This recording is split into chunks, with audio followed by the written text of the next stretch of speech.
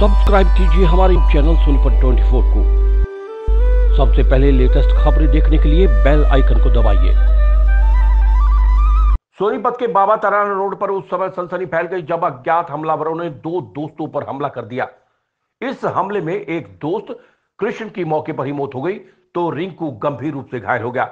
वारदात की सूचना मिलने के बाद पुलिस मौके पर पहुँची और मामले की गहनता से जाँच में जुट गई।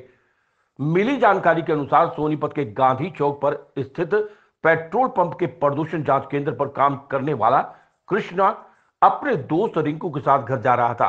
तो देर रात अज्ञात हमलावरों ने दोनों पर हमला कर दिया, जिसमें दोनों गंभीर रूप से घायल हो गए, जिसके बाद दोनों को अस्पताल में ले जाया गया, जहाँ पर कृष्ण ने इलाज के दौरान दम तोड़ दिया। तो रिंकू ज़िंदगी और मौत के बीच जंग लड़ता रहा।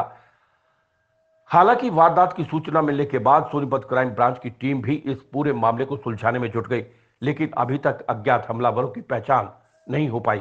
सोनीपत 24 के लिए रमेश कुमार की रिपोर्ट। मेरे को बारह बजे रात में फ़ोन आया कि एक दोस्त का, उनका घर वाली थी तो उसने बोला, कृष्णा, ख़त्म हो गया, रोड़ा हो गया वहाँ नाले पे, और मेरा पति को भी बहुत पीटा है, और आप आ जाओ हॉस्पिटल में। फिर मैं रात में मेले में था फिर बारह बजे के आसपास में हॉस्पिटल में आया तो देखा ख़त्म है और रात से पुलिस तहकीकात कर रही है। सी स्टाफ भी आ रहे हैं सारे करे गए अभी तक तो कोई पता नहीं चला उनका। कहाँ पे गया हुआ था आपका भाई?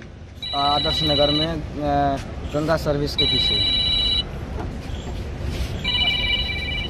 पोल्यूशन में काम करता था। किसमें? पोल्यूशन प्रदूषण जाँच केंद्र। अच्छा कहाँ पे? सिटी लाइन फिलिंग स्टेशन पे करता था वो काम गांधी चौक पे और आदर्श नगर जाता था वो वहाँ रहा करता था। बारह साल से वहीं काम करता था वो। कैसे पता च, अ, कोई शक है कि किसी पे किसने हत्या की है? सब तो कोई नहीं पर जो अड़ोसी पड़ोसी वहाँ का नाले पे है वो बोल रहे हैं कि वो दो चार पाँच लड़के पर वो चार पाँच लड़के गए हुए बोल रहे हैं। अच्छा। क्या मार के हत्या की गई अभी भाई? इनका तो कोई पता नहीं पर जहाँ पे हत्या हुआ काफ़ी बाहर खून है रूम के बाहर पड़े हुए दो जगह। ब्लड और ईट भी टूट रहा है, पर किस चीज़ से वार किया ये हमको पता नहीं। ये रात को कंट्रोल रूम से टेलीफोन आया था कि दो व्यक्ति लड़ाई झगड़ा होकर दाखिल अस्पताल हैं।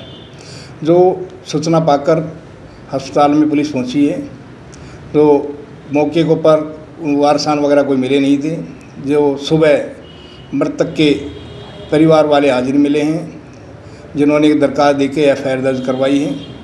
मृतक का नाम कृष्णा था।